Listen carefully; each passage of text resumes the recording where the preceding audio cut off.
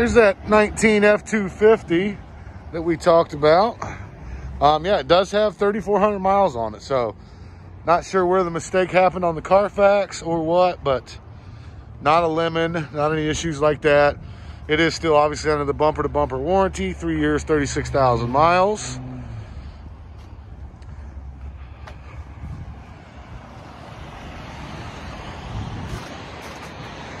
My guess would be that someone sold it because for the first time in ever, vehicles are appreciating instead of depreciating. So if you didn't have a need for it, you could make some good money selling these.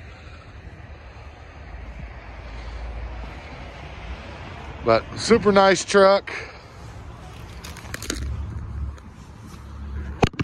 Very clean. It's like brand new. Long bed. Spray and liner.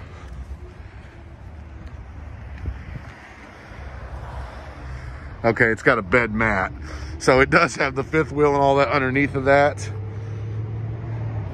Had me questioning it for a second. Anyways, there it is. Give me a shout. Thanks.